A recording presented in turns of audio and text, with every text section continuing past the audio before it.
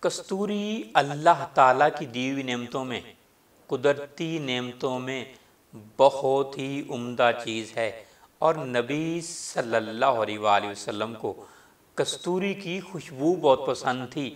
آپ نے کستوری کا سرما بھی استعمال کیا۔ اسے نبوی ہے۔ حضرت ابو سعید خدری رضی اللہ تعالیٰ عنہ فرماتے ہیں کہ رسول اللہ صلی اللہ علیہ وآلہ وسلم نے فرمایا، الطیب الطیب المسک، سب سے اچھی خوشبو کستوری کی خوشبو ہے۔ سبحان اللہ۔ کستوری حیوانی ذریعے سے لی جاتی ہے۔ یعنی اس کے لیے کستورہ ہرن ہوتا ہے۔ جب ہرن فل مستی میں ہوتا ہے یعنی نر ہرن جو ہے کستورہ ہرن، تو پھر اپنے پاؤں سے کھرج کر وہ کستوری نیچے پھینک دیتا ہے۔ یہی کستوری، اصل کستوری ہے۔ حیوانی ذریعے سے نیچرل طریقے سے۔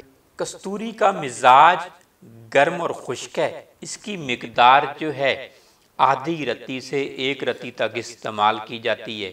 دل دماغ کو معطر کرنے کے لیے، دل اور دماغ کی طاقت کے لیے، اعصاب کی طاقت کے لیے۔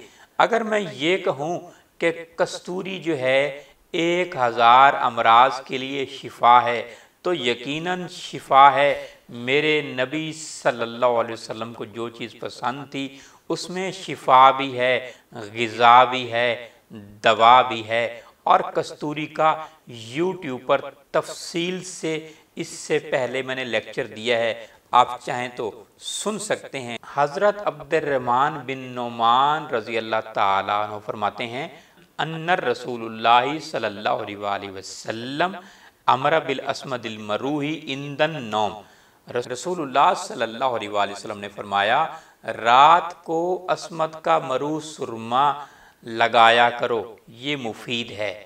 یعنی مرو سے مراد کستوری والا سرما۔ سبحان اللہ۔